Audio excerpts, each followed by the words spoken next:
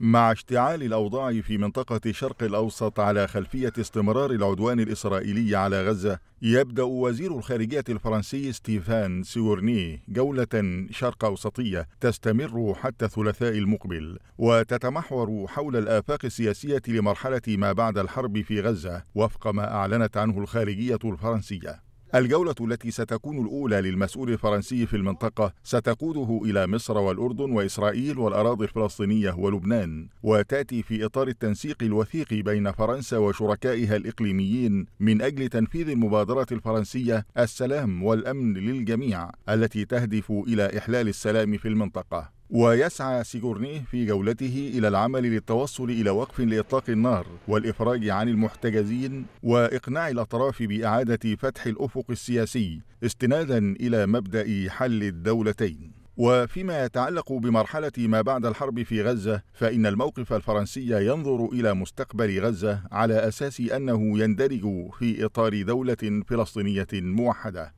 وأكدت الخارجية الفرنسية أن باريس رفضت وترفض على الدوام إقامة مستوطنات في غزة وتهجير الفلسطينيين. وتأتي الجولة في خضم مفاوضات من أجل التوصل إلى هدنة جديدة بعدما أتاحت الهدنة المؤقتة التي تم التوصل إليها في نهاية نوفمبر الماضي واستمرت اسبوعا. أتاحت الإفراج عن محتجزين من قطاع غزة مقابل إطلاق سراح أسرى فلسطينيين من السجون الإسرائيلية.